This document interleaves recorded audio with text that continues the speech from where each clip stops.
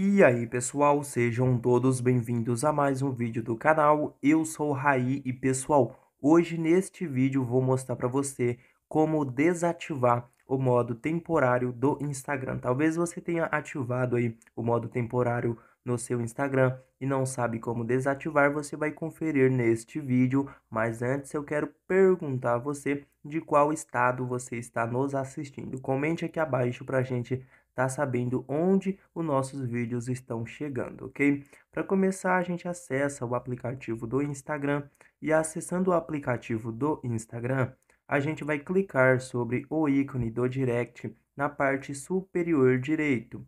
E a gente clicando aqui sobre o ícone do direct, vocês vão ver é, e vão estar tá clicando sobre a conversa na qual está ativado o modo temporário, ok? Então você vai clicar sobre a conversa vocês podem ver que o meu modo temporário está ativado nessa conversa e para a gente poder desativar ele, basta a gente estar tá clicando sobre o nome do perfil desta conta. Então a gente clica sobre o nome da conta e clicando aqui vocês podem ver que ele já deu para a gente algumas opções.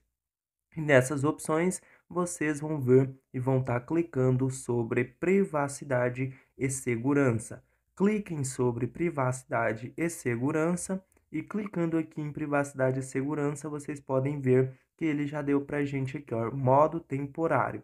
E o seu vai estar tá habilitado. Então, você vai dar um toque sobre e ele vai ficar cinza. Quando ele ficar cinza, é porque o modo temporário já foi desativado do seu Instagram. Então, vocês vão voltar aqui e vocês podem ver que as conversas aqui já ficaram normais, ok, pessoal? Então é dessa forma aqui que você vai desativar o modo temporário do Instagram.